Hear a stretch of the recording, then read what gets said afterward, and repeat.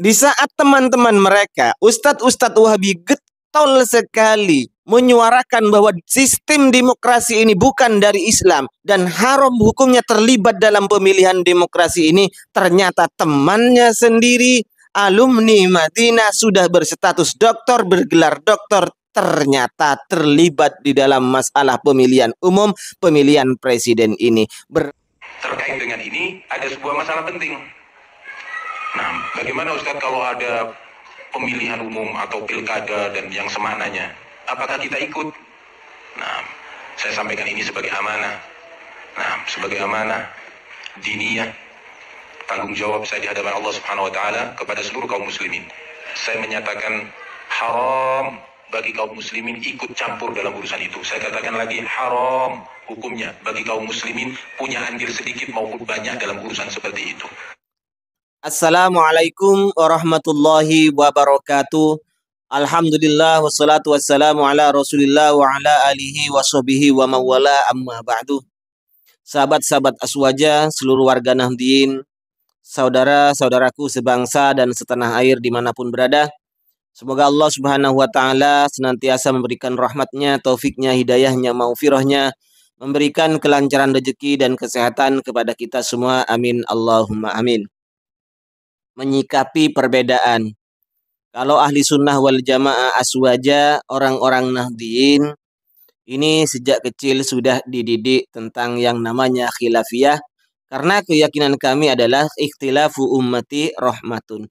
Perbedaan di antara umat Muhammad, umat Nabi kita Nabi besar Muhammad Sallallahu Alaihi Wasallam ini adalah rahmat, bukan dicari perbedaannya. Artinya, kalau kita berbeda dengan orang lain, dengan tetangga kita, dalam masalah hukum, maka yang kita yakini adalah kita tidak mengaku bahwa yang kita yakini ini adalah paling benar. Yang kita kerjakan adalah paling benar dan yang dikerjakan oleh orang lain itu adalah salah. Karena di dalam aswaja, orang-orang aswaja itu mengedepankan taslim terhadap para ulama. Kenapa? Karena mereka para ulama itu telah merumuskan hukum-hukum itu berdasarkan Quran dan hadis. Tidak mungkin ulama semisal Imam Syafi'i, Imam Nawawi rahimahullah dan para ulama-ulama yang lain dari madhab yang empat ini ketika memutuskan hukum berdasarkan otaknya sendiri, berdasarkan nafsunya, nafsunya sendiri, bukan berdasarkan dalil. Makanya dikenal dalam istilah usul istimbat hukum hukum. Karena hukumnya adalah dalilnya dhanni, bukan masalah qat'i. Jadi maklumun minad din bidarurah secara umum memang dalil ini, hukum ini tidak ada dalil pasti dari agama, maka itu namanya dalil dhanni dan inilah yang menjadi perbedaan sebab perbedaan di antara ulama. Sehingga istimbat hukumnya berdasarkan Al-Qur'an dan hadis berdasarkan ijma kemudian kias. Oke. Selama ini orang-orang Wahabi yang kita ketahui adalah banyak yang mengharamkan masalah pemilihan umum. Kita tahu Farhan Abu Furaihan bahkan masalah pemilu saja, pemilihan presiden saja ini, pemilihan pemerintah saja, pemilu pilpres dan lain-lain ini, ini diarahkan terhadap masalah akidah. Dan lagi banyak saya mengungkapkan sudah bahwa ada seperti ustadz siapa dari audio salafi asli itu menyatakan bahwa pemilu hukumnya haram, pilpres, pemilu, pemilihan uh, kepala daerah hukumnya haram. Baik, kalau begini, kalau orang-orang salafi, orang-orang yang mengatakan dirinya, menamakan dirinya adalah pengikut salafi, mengharamkan pemilu berarti dia telah menganggap temannya mengerjakan perkara haram yang tidak syar'i. Yazid Jawas dan ustadz-ustadz salafi lainnya mengatakan bahwa sistem demokrasi pemilihan kepala presiden yang dilaksanakan di Indonesia ini pilkada, pilpres hukumnya adalah tidak syar'i. Farhan Abu Huraihan barusan juga mengatakan itu tidak syar'i. Dan ada yang mengatakan haram. Nah, ternyata temannya sendiri Pak Ustadz Syafiq Risa Basalamah mengerjakan sesuatu yang tidak syar'i dan yang diharamkan. Mau tahu apa? Ini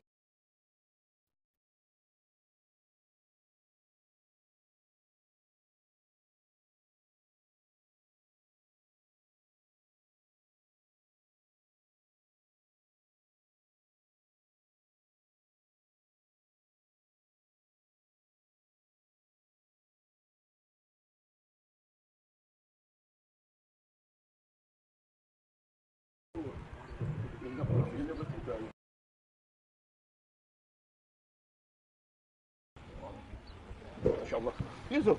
Alhamdulillah. Alhamdulillah hari ini nyoblos. Bes, kita berdoa sama Allah ya. Semoga Allah berikan yang terbaik buat negeri kita.